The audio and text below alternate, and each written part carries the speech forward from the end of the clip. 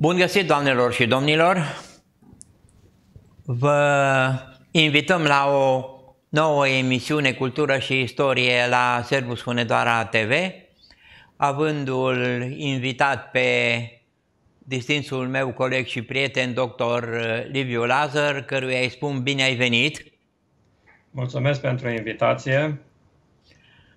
Uh, titlul emisiunii, după cum vedeți pe ecran, uh, este dedicat uh, evenimentului de la 23 august 1944 și vrem să continuăm cu privire specială asupra relațiilor româno-sovietice de această dată. Cu toate că diferență foarte mare între relațiile româno-ruse și relațiile româno-sovietice nu au fost. Dar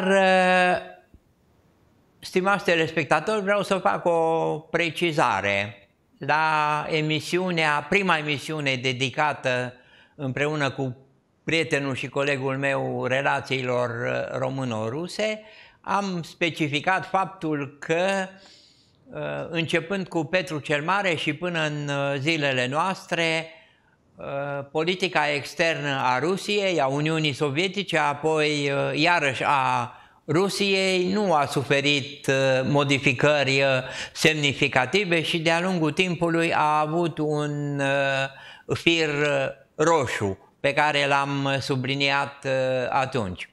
Și am avut surpriza ca peste câteva zile după emisiunea, după difuzarea emisiunii noastre, președintele Rusiei, domnul Vladimir Putin, să apară în spațiul public, făcând o afirmație, zic eu, deosebit de semnificativă, spunând că URSS, deci Uniunea Sovietică, nu a fost nimic altceva decât afirmarea Rusiei istorice de-a lungul uh, timpului. Iată, a venit uh, de unde nu ne așteptam o confirmare a ideilor noastre pe care le-am uh, prezentat. Și am ajuns uh, până în anul 1939 cu emisiunea trecută, vorbind despre relațiile uh, româno-sovietice în preajma primului, uh, în preajma celui de-al doilea război mondial, uh, mă scuzați, Uh, care a fost un fenomen istoric uh, deosebit de complex, cu destul de multe contradicții uh, la nivel mondial, astfel încât a adus o serie de încurcături, iertați-mi termenul neacademic, și în cazul relațiilor româno-sovietice prezența României în uh, alianță cu Germania, cu puterile Axei, uh, apoi uh, alăturarea țării noastre Națiunilor Unite prin actul de la 23 august 1944 și consecințele acestuia pe care le dezbatem acum. Te rog, stimate coleg. Uh, 23 august 1944. Ce se întâmplă în vara anului 1944? Sau poate ar trebui să mergem puțin mai uh, înainte cu un an, când uh, Ion Antonescu și-a dat seama de faptul că Germania va pierde războiul și a demarat contacte diplomatice cu Națiunile Unite. Știm că au fost negocieri la Cairo, la Madrid și la Stockholm. La Stockholm a fost cu ambasadorul sovietic uh, uh, Elen, uh, Alexandra Colontai. Alexandra, așa mi-a scăpat numele, scuze, Alexandra Colontai. Și Antonescu a încercat să iasă din uh, uh, războiul împotriva Uniunii Sovietice, însă el a insistat pe faptul că el trebuie să îi dea un preaviz, dai seama, lui Hitler de 12 zile să-l anunțe că România va ieși din război, ceea ce, practic, elementul surpriză nu mai exista și, probabil, așa cum s-a întâmplat și în cazul altor țări, România ar fi fost ocupată și transformată în teatru de război. Însă, vreau să spun uh, un lucru. În cercetările pe care le-am făcut pentru monografia orașului Deva, dar și pentru monografia județului Hunedoara, am găsit în arhive foarte multe date care relevă faptul că Antonescu s-a pregătit de o rezistență antisovietică pe teritoriul țării. De exemplu, uh, s-au construit, uh, am găsit foarte multe documente, s-au construit uh, adăposturi antiaeriene. În curtea liceului pedagogic s-au săpat șansuri și tranșee de rezistență. La liceul Decebal, la fel. Populația era, cum să spun, făcea exerciții de alarmare Uh, erau prezentate măștile de gaze. Uh, tot acest lucru ne arată că, plus măsurile pe care le-a luat la nivel local, pe care nu le uh, am timp să le prezint aici, arată faptul că Antonescu se pregătea de o rezistență și pe teritoriul României. Deci asta spun din cercetările pe care le-am, le-am găsit. Iar a transforma România în teatru de război, într-adevăr, era un precedent periculos, mai ales că era centura Carpaților, unde se putea face o rezistență serioasă împotriva armatei uh, sovietice. Și atunci uh, apare, să spunem așa, în uh, uh, ecuație, își asumă rolul de a înceta războiul regele Mihai. Tânărul, să subliniem lucrul acesta, tânărul rege Mihai pe vremea aceea, evident că la palat sunt uh, uh, chemați liderii uh, opoziției, Maniu, Ceice Brătianu, dar și Lucrețiu Pătrășcanu, pentru că Lucrețiu Pătrășcanu, reprezentant al Partidului Comunist Român, singurul intelectual uh, din acea perioadă a Uh, Partidului Comunist Român, nu că au fost foarte mulți și în perioada care a urmat, te rog să mă scuz, uh, a venit la palat și au negociat, au format o alianță prin care au pregătit, să spunem așa, ieșirea uh, Dăm României. voie numai puțin să intervin, te rog, până ajungem la ceea ce spui tu, să precizez că Ion Antonescu încerca după părerea mea, totalmente nerealist, să realizeze o înțelegere separată cu Statele Unite ale Americii și Regatul Unit. Uh, Eugen Preda, cel care a fost uh, vreme multă și directorul radiodifuziunii uh, române, are o carte interesantă intitulată Săritura de pisică. Ea se referă la o eventuală debarcare a aliaților după modelul italian, după cum s-a întâmplat în Italia, prin care uh, trupele anglo-americane să ocupe România și în felul acesta să se evite uh, trecerea peste teritoriul românesc a uh, armatei roșii. Această idee a lui Ion Antonescu, Sigur că din punct de vedere teoretic era sublimă, dar uh, era exact ca și industria din uh, piesa lui uh, Caragiale, că putem spune că este sublimă, dar lipsește cu desăvârșire. Pentru că, așa cum am precizat și emisiunea trecută, prin Carta Atlanticului, aliații menționau că nu acceptă decât capitularea necondiționată a Germaniei și a uh, aliaților săi. Iar uh, Uniunea Sovietică era și aparte a uh, Cartei uh, Atlanticului. Plus că și Occidentul după părerea mea, își avea, mai ales Regatul Unit, își avea uh, interesele sale uh, egoiste. Churchill știa un singur lucru, să încerce să salveze uh, Imperiul Colonial uh, Britanic și pentru asta a fost în stare de orice uh, compromis. Uh, dacă vorbim de celebrul bilețel cu împărțirea sferelor de influență în uh, Europa Central-Răsăriteană, pe care România apare cu 50-50%. Să menționăm că uh, Stalin nici nu vrea să audă de România.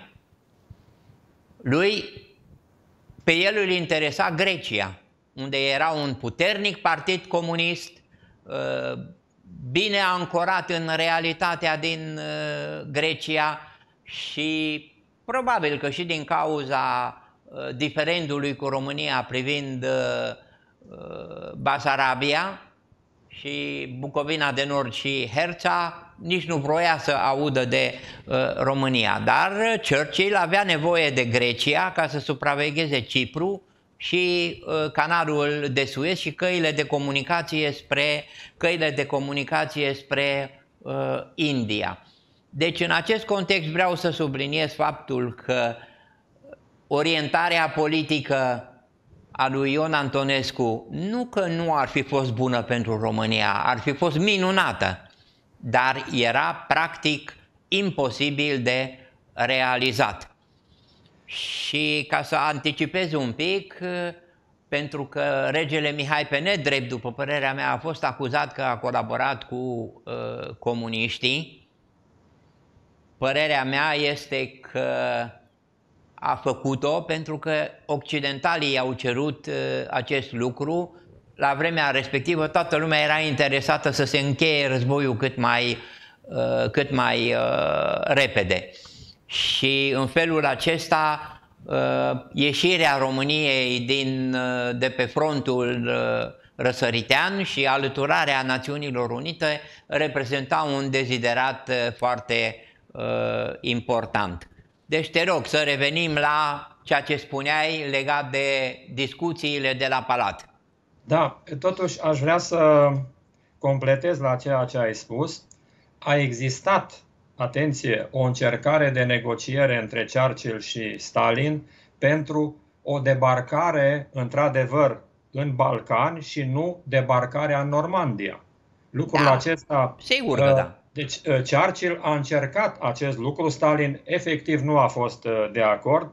Uh, Churchill a avut totuși această viziune foarte adevărată și care într-adevăr s-a confirmat și să nu uităm că el a fost primul care în 46 spune că peste Europa s-a așezat o cortină de fier. El vroia, prin debarcarea în Balcani, într-adevăr, să elibereze Bulgaria, România, Polonia să meargă până la țările Baltice și atunci Armata Roșie să se oprească la granițele sale. Uh, îl cunoștea foarte bine pe Stalin uh, Churchill, însă uh, era vorba și de americani. Pentru americani era un pic mai greu ca să debarce în Mediterana. Debarcarea în Normandia era din punct de vedere strategic mai, mult mai ușoară decât debarcarea în uh, Balcani. Să nu uităm faptul că și în primul război mondial, frontul de la Salonic cu generalul Sarai, cât de greu au străpuns ei liniile bulgare de-abia în toamna anului 1918, nu? Pentru că soldații români uh, uh, de la Mărășești strigau Sarai, hei Sarai, Sarai, Sarai, noi, Noi ne batem și tu stai. Și tu stai, asta este, da, da. Deci, da, aici fost... dăm voie să fac și o, o completare la completare și să precizez în, în uh, raporturile celor trei mari, Roosevelt, Churchill și Stalin. Uh, din nefericire, Roosevelt era fascinat de personalitatea lui Stalin, Churchill uh, nu. Churchill a fost mai diplomat, ca să nu spun mai șmecher. Uh, Churchill nu-l contrazicea pe Stalin, dar vroia să îl determine să, folo- să uh, atragă tot binele spre Regatul Unit și spre uh, menținerea Imperiului colonial britanic. Pentru că până la urmă Churchill a fost ultimul mare victorian post factum care dorea, care dorea acest lucru. Ei, tocmai ce ai spus tu este precizat și în cartea lui Eugen Preda, Săritura de pisică, și sigur că debarcarea în Balcani nu a avut loc și pentru că Stalin n-a vrut și pentru că americanii prin Roosevelt uh, s-au opus cu, chiar, cu vehemență chiar mai mare decât Stalin. Bun. Uh, era clar că era nevoie de o debarcare și pentru eliberarea Franței și a, uh, spunem, pentru americani era mai simplu în sensul că atunci, ca și în primul război mondial, Germania era prinsă din două părți, și din est și din vest, și atunci posibilitatea înfrângerii ei era mai rapidă. Însă, trebuie menționat faptul că uh, Churchill a fost cel care s-a opus acestui tăvălug al lui Stalin, însă, în ultimele, să zicem așa, luni de viață a lui Roosevelt, știm că starea lui de sănătate se deteriorase și atunci uh, Churchill n-a mai avut un aliat așa de uh, activ, să spunem așa, în negocierile cu Stalin. Să nu uităm faptul că în uh, prezența sau chiar la conferința asta de la Moscova despre care vom vorbi, Stalin le-a oferit toate facilitățile celorlalți doi conducători de a i și urmărit, le-a pus microfoane în cameră și așa mai departe să vadă ce discută ca a doua zi la negocieri el să fie pregătit. A jucat foarte uh, uh, inteligent, uh, din păcate, pentru noi și pentru soarta țărilor din răsăritul Europei Stalin și acest lucru s-a și întâmplat. Acum, revenind la negocierile de la Palat. Uh, Antonescu era, cum să spun, într-o situație complicată, pentru că aliații, într-adevăr, îl îndemnau să negocieze cu Moscova, cu Alexandra Kolontai, negocierile, uh, bine, sunt unele lucrări care, uh, nu știu, le-aș pune totuși sub semnul întrebării, care susțin că Antonescu ar fi obținut de la Alexandra Kolontai condiții mai bune decât a uh, obținut România prin Convenția de Armistițiu din 12-13 septembrie. Deci după 23 august, Lucrurile astea nu sunt dovedite din punct de vedere uh, documentar, așa că le luăm cu titlul de provizorat.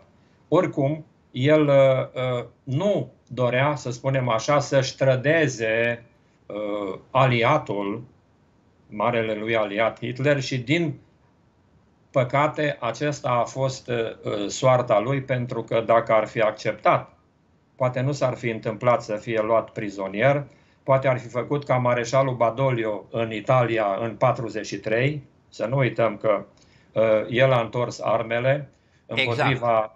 Germaniei naziste, însă uh, și anumita lui rigiditate și, uh, cum să spun, uh, în ghilimele, onoarea față de aliatul Hitler l-a făcut să nu cedeze. Și... Da, eu lasă-mă să subliniez un alt aspect care poate are anumită relevanță și pentru ceea ce s-a întâmplat în 1989. Uh, Începând cu aprilie 1944, așa cum ai spus, Lucrețiu Pătrășcanu și Emil Bodnăraș, care avea numele de cod inginerul Ceaușu, intrau aproape în fiecare noapte în uh, Palatul Regal și purtau discuții cu secretarul particular al regelui Mihai Ion Mocioni Stârcea. Eu stau și mă întreb, mă rog, întrebarea are un pic uh, uniz, uh, să zicem, hai să nu zic chiar retoric, semi-retoric. Ce a păzit Eugen Cristescu și serviciile de informații din vremea respectivă când ei dacă au știut de aceste întâlniri și de vizitele pe care le făceau cei doi comuniști în Palatul Regal, de ce n-au reacționat? Deci este vina lor în totalitate ca servicii de informații, iar dacă au știut, da, iar dacă n-au știut, este clar că au fost incompetenți. Deci în primul caz au fost stupizi, iar în al doilea caz au fost incompetenți. Deci oricum este, uh, oricum este ceva uh, de neînțeles uh, pentru mine și întotdeauna mi-am pus această întrebare știind că uh, se pregătea din perioada respectivă uh, debarcarea uh, lui Ion Antonescu în situația în care nu accepta să întoarcă armele împotriva, împotriva Germaniei. Te rog. Da, și așa s-a și întâmplat. Acum, cum să spun, erau cunoscute probabil la siguranța statului demersurile pentru ieșirea României din război, era cunoscută și încăpățânarea lui Antonescu de a nu întoarce armele ca surpriză împotriva Germaniei naziste și poate, așa cum în 89 personajul nu Ceaușu, ci Ceaușescu a fost trădat de forțele de securitate, poate așa și Antonescu a fost trădat, să spunem așa, de Uh, cei din siguranța statului, pentru că toată lumea dorea, într-adevăr, încetarea războiului sau măcar România să nu fie transformată în teatru de război. Da, dar iartă-mă, Eugen Cristescu a fost arestat în ziua de 23 august cu lotul Ion Antonescu.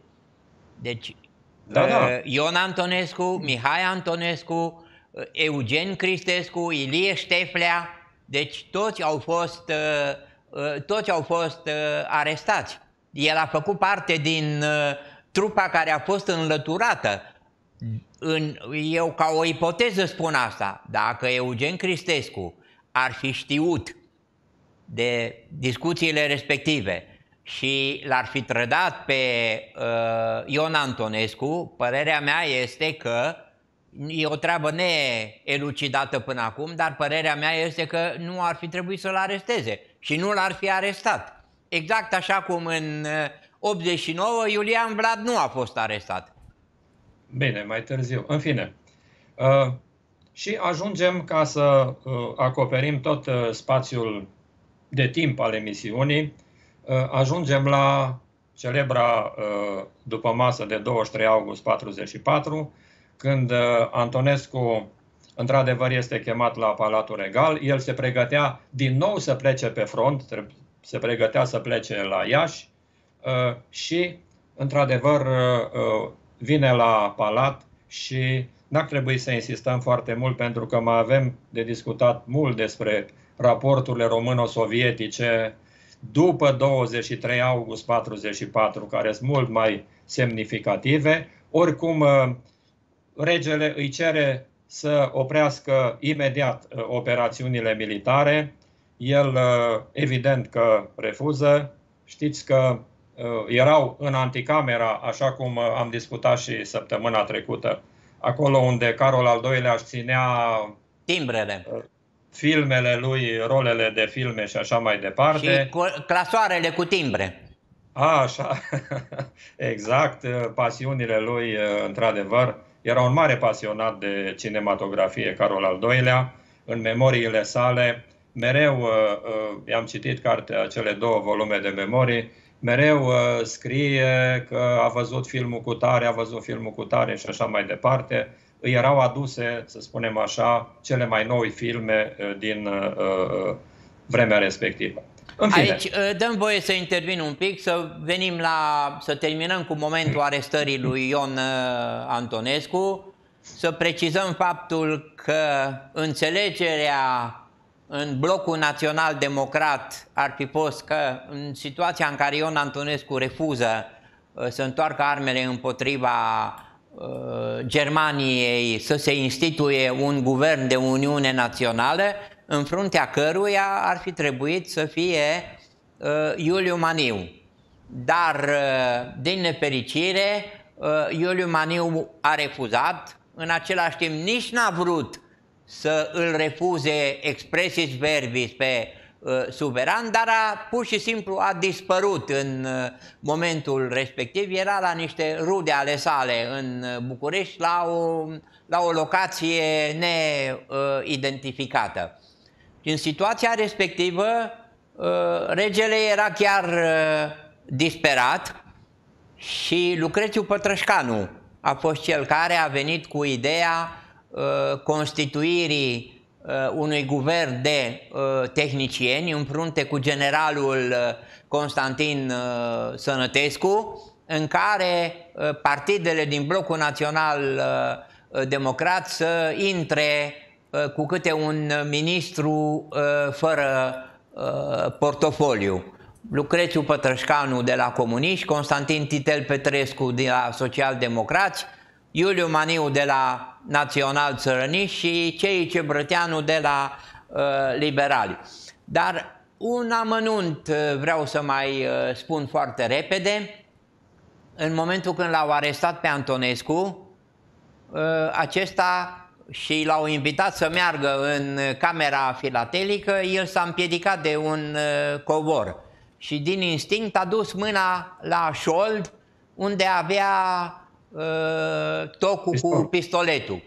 Un plutonier, plutonierul uh, Bâlă, uh, a pus mâna pe el, la care Antonescu s-a întors și i s-a adresat uh, generalului Sănătescu, spunându-i ce face mai Sănătescule? Un plutonier pune mâna pe un mareșal al României, la care Sănătescu oarecum s-a speriat sau, mă rog, și-a dat seama de situație de încălcare de protocol și i-a spus uh, uh, plutonier, ia mâna de pe domnul, uh, ia mâna de pe domnul uh, mareșal. Uh, dăm voie să spun că facem o mică pauză pentru publicitate și după aceea, uh, după aceea uh, revenim. Pentru că resursele planetei sunt limitate, reciclarea rămâne singura cale prin care le putem face inepuizabile pentru trecerea la economie circulară. Dar reciclarea eficientă este posibilă doar printr-o colectare separată, susținută și inteligentă a deșeurilor. Din grijă pentru mediu și respect pentru generațiile viitoare, implică-te alături de noi, pentru un prezent curat și un viitor sănătos. Braicata. Din respect pentru resurse.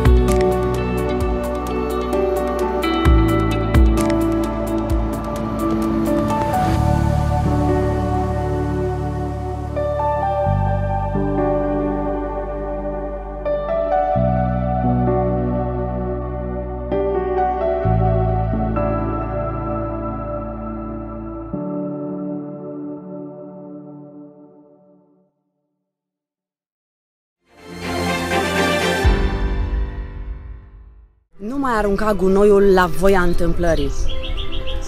Să nu ai pretenții că cineva mereu vine în urma ta și îți strânge gunoiul. Cu toții suntem egali. Nu lăsa pe ceilalți să vină să strângă mizeria în urma ta. Conștientizează. Ai pretenția să trăiești într-un mediu curat? Tu trebuie să-l faci curat. Trăiește curat, colectează separat, aruncă gunoiul unde trebuie.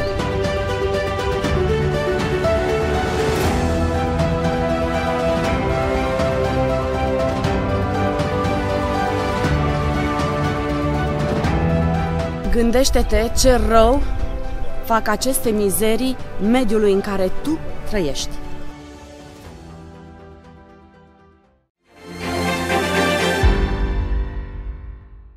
Bun, Antonescu a fost arestat, dus într-adevăr uh, de comuniști într-o casă conspirativă, Vatra Luminoasă și așa mai departe.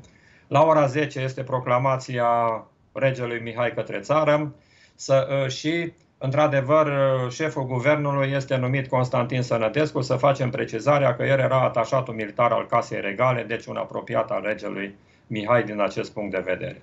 În fine, armata română a primit într-adevăr ordin să oprească, să spunem așa, lupta împotriva armatei roșii. Însă, nici vorbă ca Stalin a dat ordin ca trupele de, din tranșee și așa mai departe, bine, ai noștri cu steagul alb și așa mai departe, să fie arestate, să fie dezarmate.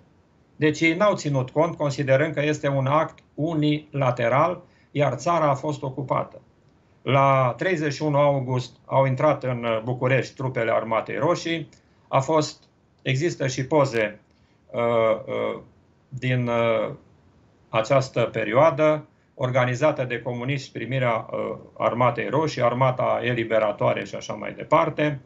Uh, și de-abia la 12-13 septembrie delegația României se prezentase la Moscova pentru încheierea Convenției de Armistițiu. Uh, ce s-a întâmplat? Bine, ei s-au dus cu uh, conducătorul delegației României, într-adevăr, a fost Lucrețiu Pătrășcanu, pentru că el era aliat, uh, mă rog, considerat, mă rog, un reprezentant al Partidului Comunist. Era și un generalul Dumitru Dămăceanu, mai mulți, în fine, au fost primblați prin Moscova să le arate obiectivele și așa mai departe și în noaptea de 12-13 septembrie, la ora 3, au fost uh, uh, sculați din somn să meargă să semneze Convenția de Armistițiu.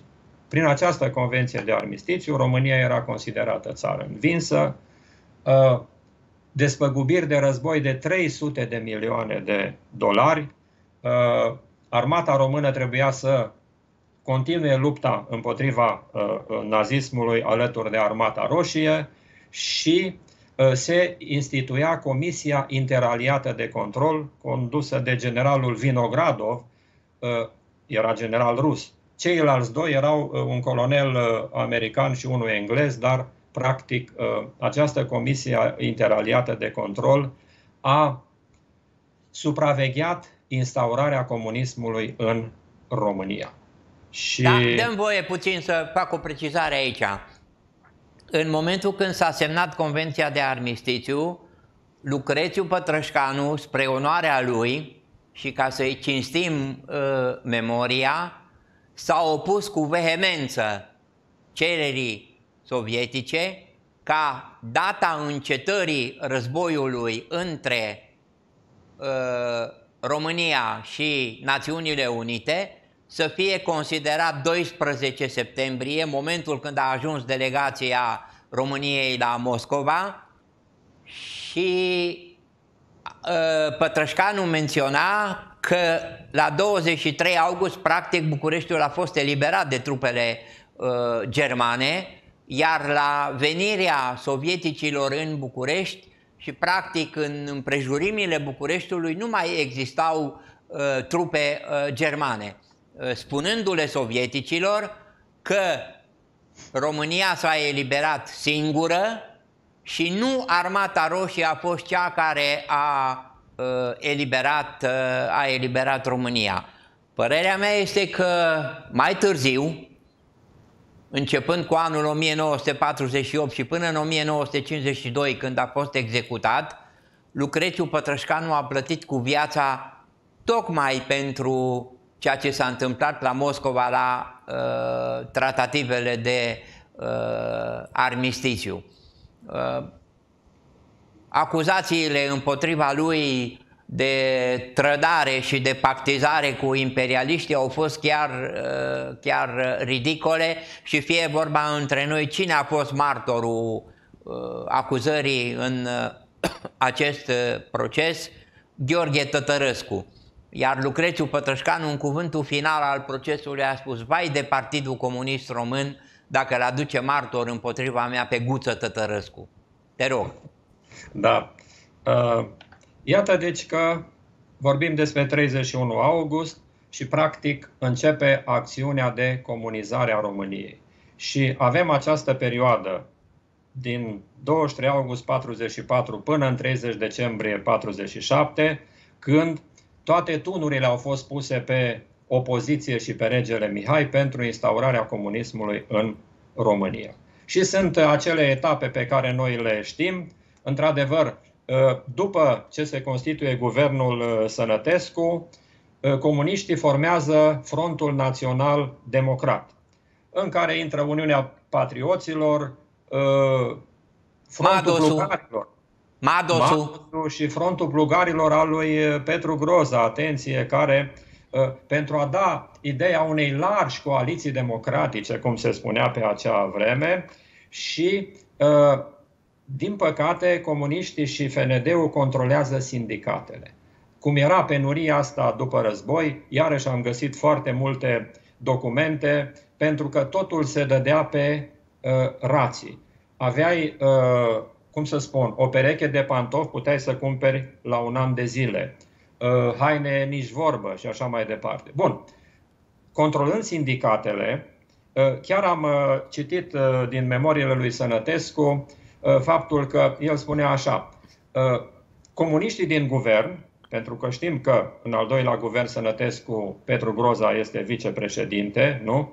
Comuniștii din guvern nu interesează altceva decât întrunirile lor, cum să-și pregătească discursurile, eu care doresc să pun țara pe picioare, nu pot să colaborez cu acești miniștri. Bine, nu parafrazez pentru că nu uh, uh țin uh, foarte uh, exact, dar asta este ideea textului, că el se plângea pentru că de atunci Uh, și controlând sindicatele, demonstrații și așa mai departe. Se ajunge la guvernul generalului Rădescu. Deci două guverne Sănătescu, guvernul generalului Nicolae Rădescu, care era puțin mai radical în ceea ce privește uh, raporturile cu comuniștii, însă, din păcate, aici intervine tăvălugul rusesc, uh, Știm că are loc o demonstrație a tinerilor, a studenților și așa mai departe în 28 februarie la București. Uh, a Frontului Național Democrat se cerea, mă rog, abdicarea lui Rădescu și așa mai departe. Uh, știm povestea că uh, sunt 11 morți, atenție la acea demonstrație, însă autopsierea cadavrelor au demonstrat faptul că gloanțele nu erau folosite de armata română. Practic, agitatori ruși în uh, uh, infiltrați au tras asupra oamenilor pe care i-au adus comuniștii în uh, demonstrație și acest lucru l-a făcut pe uh, uh Stalin să-l trimită pe Vâșinski, care era adjunctul ministrului de externe al uh, URSS-ului, vine la regele Mihai, bate cu pumnul în masă să-l pună prim-ministru pe Petru Groza. Și cum îl șantajează pe regele Mihai? Că nu va ceda, să spunem așa, adică în nord-vestul Transilvaniei, care a fost eliberat de armata română împreună cu armata roșie, dar să nu uităm faptul că uh, românii au fost trimiși în locurile cele mai greu de, de cucerit. Uh, ține minte, uh, de lângă Iernut era un deal, nu mai țin bine minte, că am și vizitat locul acela, unde au murit vreo 400 de soldați români, au fost împinși de ruși să cucerească uh, rezistența uh, germană care era pe deal. Au murit foarte mulți români la eliberarea nord-vestului Transilvaniei, însă URSS-ul a transformat-o uh, în zonă de ocupație sovietică și l-a șantajat pe regele Mihai că nu va reda României administrația în această zonă până când nu îl pune prim-ministru pe Petru Groza. Și așa ajunge Petru Groza la 6 martie 1945 prim-ministru și la o săptămână, la 13 martie, se, într-adevăr este redată uh, administrația românească în nord-vestul Ardealului, are loc o mare demonstrație am văzut și foarte multe poze de la această demonstrație. Vâșinski, iată, eliberatorii, uh, marele nostru prieten de la Răsărit, ne redă administrația românească și acolo uh, într-o cuvântare la Cluj, Lucrețiu Pătrășcanu spune că în primul rând este român și după aceea este comunist. Și acest lucru îi va agrava și mai mult uh, situația, așa cum ai spus tu, pentru că se aștepta o mică, să spunem așa, eroare de comunicare din partea lui Pătrășcanu. Să nu uităm că era singurul intelectual din Partidul Comunist Român, era invidiat de ceilalți din acest punct de vedere și, într-adevăr, ăsta este sfârșitul. Dar să nu uităm că și Ștefan Foriș, care a fost liderul comunist înainte de 23 august 44, a fost executat. Dar asta este în altă etapă, pentru că, să spunem așa... Bine, misiune... a fost executat, e un fel de a spune, pentru că în momentul când spui executat, înseamnă că a existat o sentință judecătorească și s-a făcut ceva în mod organizat. Practic, Ștefan Foriș a fost asasinat. Asasinat, da, da. Cu, da. L-au lovit în, în ceapă cu o rangă. Da, da, da. Bun. 23 uh, august 44, 6 martie 45, primul guvern pro-comunist din istoria României. Am spus, 13 martie, uh, redarea administrației românești din Ardeal, se ajunge la reforma agrară, nu? Din 23 martie 1945. Este o reformă, să spunem așa, cu caracter populist. Se lasă doar uh, proprietățile peste 50 de hectare și de acum vor apărea uh, acei uh, chiaburi care mai târziu vor fi arestați și așa mai departe. Și se, s-au acceptat și proprietățile casei regale. Da, da, da. Deocamdată. Deocamdată, Acum, sigur. Uh, uh, regele Mihai în vara anului 1945, pentru că Lucrețiu Pătrășcanu, să spunem și acest lucru, fiind ministrul justiției, pentru că vorbim sine ira et studio, a elaborat o legislație prin care s-au epurat din aparatul statului toți cei care au fost, să spunem așa, uh, uh, că au colaborat cu fascismul.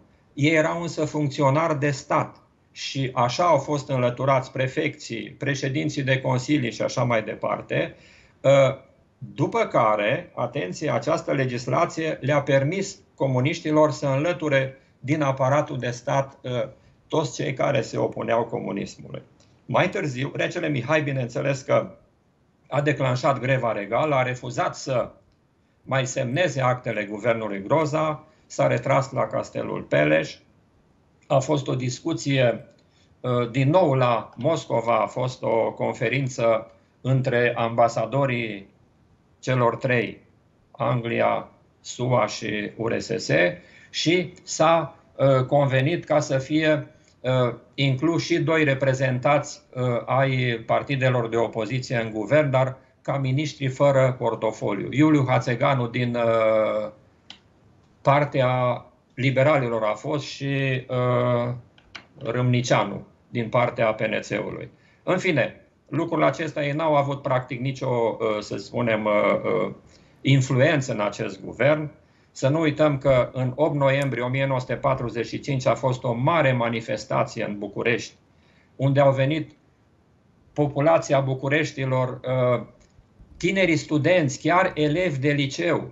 Și ce au făcut comuniștii? N-au trimis minierii, ci au trimis uh, uh, sindicatele din uh, întreprinderile bucureștene care au venit cu camioane cu bâte. Au fost uh, într-adevăr conflicte și cine au fost arestați? Au fost arestați studenții și tinerii. Și spun asta pentru că la 30 decembrie 47 uh, lucrurile astea uh, au fost unul din motivele pentru care regele Mihai a fost de asemenea șantajat. În fine, vine anul 1946, Antonescu știm că a fost predat de comuniști rușilor, rușii l-au dus în Uniunea Sovietică. Uh, să spunem că la conferința aceea uh, de la Moscova, uh, în afară de faptul că să intre în guvern doi miniștri din partea opoziției, s-a hotărât să se organizeze și alegeri în 1946. E, în 1946 da, a fost numai elaborat... puțin, te rog frumos, lasă-mă să intervin cu uh, legat de faptul că Ion, Ion și Mihai Antonescu au fost duși în uh, Uniunea Sovietică, uh, în același timp și Maria Antonescu a fost dusă în Uniunea Sovietică și uh, oarecum uh, anchetată, a stat practic toată perioada când Ion și Mihai Antonescu au fost în URSS și Maria Antonescu a fost uh, uh deținută acolo, uh, iar uh, în momentul când au venit, au fost aduși înapoi în țară pentru uh, procesul Marii uh, Trădări Naționale și Maria Antonescu s-a uh, reîntors. Ea practic n-a fost judecată niciodată, dar cu toate acestea i s-a dat uh, domiciliu uh, forțat, uh, chiar în situația în care era uh, destul de bolnavă, era cardiacă. Da. Uh, apropo de faptul că au fost aduși în țară în vara anului 46 și a început așa numitul proces al trădării naționale, uh, moment în care a fost elaborată și legislația, noua lege electorală pentru alegerile din noiembrie 46, când Senatul a fost desfințat, iată Senatul înființat de pe vremea lui Cuza, acel corp ponderator, prin statutul dezvoltator al Convenției de la Paris, este desfințat acum.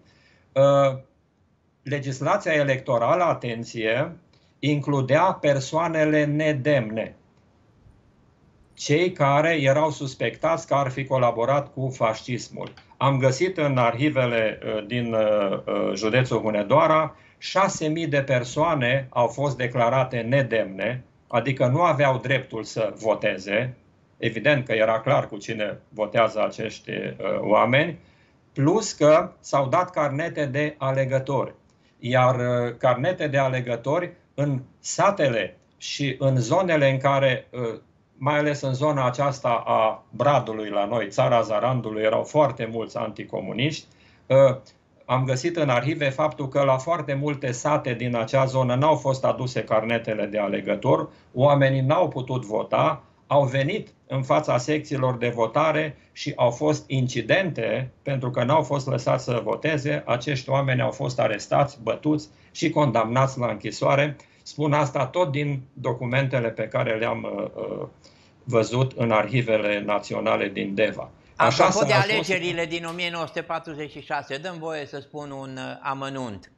Un uh, important personaj de la Muzeul Județean Hunedoara Deva la vremea respectivă, nu spun numele că nu are nicio importanță, chiar dacă a trecut la uh, cele veșnice, uh, ne povestea cu lux de amănunte, cum tânăr fiind, făcea parte din uh, Uniunea Tineretului uh, Comunist, uh, au umblat pe aici, prin Deva și prin județul Hunedoara, la sediile uh, Partidului Național Țărănesc și Partidului Național uh, Liberal și au uh, murdărit cu fecale clanțele, ușile și tocurile de la ferestrele sediilor acestor partide, pentru ca să îi intimideze cu ocazia alegerilor. Sigur că el se și lăuda că din uh, rândul celor care eram la muzeu era cel mai vechi membru de partid. Normal că era cel mai vechi membru de partid, ținând cont și de uh, vârsta pe care o avea. Altfel, un uh, profesionist uh, bun din uh, punctul de vedere al uh, istoriei, al cercetării istorice, dar mă rog, asta este un alt aspect al uh, problemei. Da, cunoaștem cazul. Uh, vreau să spun că partidele istorice n-au putut să-și facă campanie electorală, atenție, afișele lor și așa mai departe, toate erau smulse. Dacă te atingeai de vreun afiș al uh, era BPD-ul, Blocul Partidelor Democratice, acum la alegerile din 46, era dezastru. Iarăși vorbesc din arhive, uh, doi elevi de la liceul pedagogic au fost prinși, să spunem așa, că au rupt și ei. Afișele uh, comuniștilor uh, au fost uh, uh, arestați, iar directorul, atenție, Ice Stoica, un mare psiholog, a fost și el directorul liceu, școlii normale din Deva, cum era numită atunci, a fost uh, arestat. Uh, mă rog, uh, CV-ul lui este impresionant, uh, n-a mai uh, putut să profeseze decât la sfârșitul carierei, a fost detașat să muncească la o fabrică de cărămidă. În fine, așa s-a desfășurat campania electorală și atenție, sunt niște poze pe care o să spun site-ul de pe care le poți găsi să le prezinți în emisiune. Uh, simpatizanții Partidului Național Țărănesc, atenție, uh, pe asfalt își puneau semnele electorale atunci când nu erau văzuți, cu vopsea albă, ca în rest nu puteau să-și facă uh, propagandă electorală și știm ce s-a întâmplat cu acele alegeri. Cu toată această uh, ofensivă împotriva partidelor istorice a fost falsificarea grosolană, pentru că Partidul Național Țărănesc a câștigat acele alegeri cu 70 ceva la sută, iar scorul a fost întors în favoarea comuniștilor și așa, să spunem, s-a uh, legiferat, dacă putem să spunem, uh, uh, comunismul în România. Da, uh, stimate coleg, ne apropiem, eu spun din păcate, cu pași repezi de sfârșitul emisiunii și trebuie să și concluzionăm, mai ales că după 1989 s-a vehiculat cu foarte multă adversitate ideea că prin actul de la 23 august 1944 regele Mihai a fost vinovat de faptul că România a fost uh, uh, dată în sfera de influență a Uniunii uh, Sovietice. Ori uh, eu personal uh, nu sunt de acord cu acest uh, punct de vedere, trebuie să facem o distinție.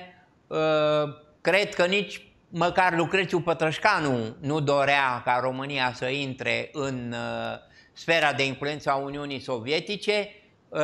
Este o diferență destul de mare între o prăpastie chiar între ceea ce s-a întâmplat la 23 august și atitudinea sovieticilor la încheierea convenției de, uh, încheierea convenției de uh, armistițiu. Deci, în felul acesta, te rog, concluzia ta, actul de la 23 august a fost un act necesar și care a fost benefic uh, României? Uh, a fost un act necesar, într-adevăr a fost un act necesar benefic nu a fost datorită prietenilor noștri de la răsărit.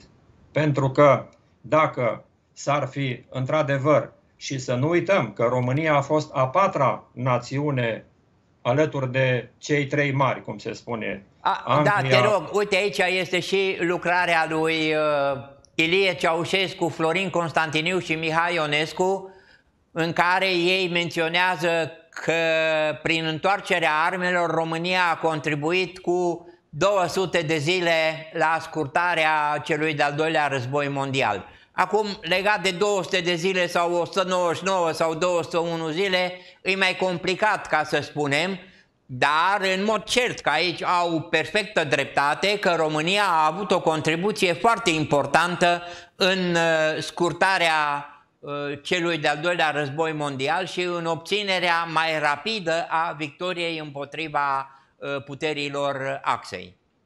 Bineînțeles, pentru că s-a prăbușit frontul apărarea nazistă în Balcani. Și atunci le-a fost mult mai ușor aliaților nu să ajungă în Ungaria, Ceoslovacia, Austria și pe partea cealaltă veneau uh, cei care au debarcat în Normandia. A fost un act într-adevăr necesar, care a fost dorit și de Națiunile Unite Occidentale. Exact. Bine, și de uh, URSS, dar URSS-ul a profitat de acest lucru și a îndreptat România, din păcate, spre comunism. N-am fost numai noi. În Iar occidentalii au lăsat pe sovietii să profite. Uh, cum să spun? Din păcate, puteam să discutăm, urma acea în uh, noiembrie 44 acea conferință de la Moscova cu acordul de procentaj dintre Churchill și Stalin în care România a fost dată 90% influență sovietică, în schimb cu Grecia 90% influență britanică. Uh, eu, părerea mea este că actul de la 23 august trebuie, uh, trebuie judecat și analizat într-o bivalență.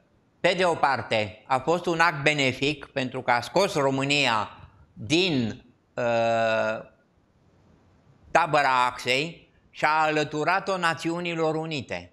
Și părerea mea este că și pentru ziua de astăzi, pentru prezența României în Uniunea Europeană și în structurile euroatlantice, acel act a avut o importanță deosebită.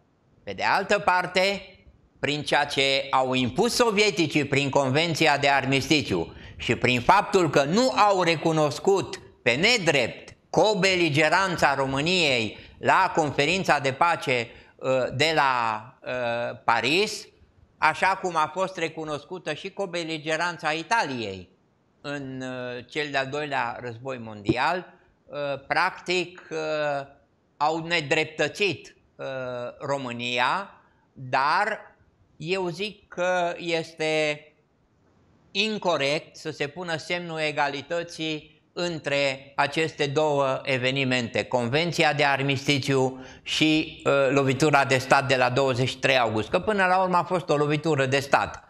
Uh, oricum, cei care au înfăptuit lovitura de stat nu puteau să prevadă atitudinea sovieticilor din 12-13 septembrie 1944 și uh, faptul că uh, Uh, ceilalți doi mari aliați, Statele Unite și Regatul Unit, uh, vor ceda nu doar România, ci practic toată Europa Centrală Săriteană în uh, sfera de influență sovietică. Da, din păcate așa au stat lucrurile. Cursul istoriei României a fost deviat spre comunism și ceea ce a urmat a fost tragic pentru poporul român și sechelele acelei perioade, care a fost încheiată în 1989, se simt și astăzi, din păcate. Chiar foarte mult, din păcate. Da, da, da. Dar oamenii trebuie să cunoască lucrul acesta și să fie demontate uh, acele uh, marote pe care le mai folosesc astăzi unii uh, politicieni care se dau mari patrioți, și care fac jocul puterilor străine, dar care puteri străine? Tot a urmașilor URSS-ului, din păcate. Să nu uităm ce s-a întâmplat și ieri în Parlamentul României, dacă vrei să actualizez, nu? când un partid politic s-a retras fără să vrea să voteze tratatul Euratom, acel tratat Euratom care a fost înființat în 1951 și care, mă rog, trebuie să fie tot actualizat uh, Uh, la anumite perioade de timp și, practic, acest partid care vrea să ne, uh, cum să spun, să ne devieze din uh, drumul nostru acesta spre o Europa civilizată. Suntem, așa cum am spus și emisiunea trecută, marele noroc a României este că suntem în structurile euroatlantice, Uniunea Europeană și NATO. Da, stimate coleg, eu mă bucur că dăm cezarului ce al cezarului și lui Dumnezeu ce al lui Dumnezeu trebuie să încheiem uh, emisiunea și cu speranța că cei care urmăresc această emisiune vor aprecia și vor înțelege în totalitate uh, demersul nostru care este unul în favoarea democrației și unul în favoarea propășirii țării noastre România. La revedere! La revedere!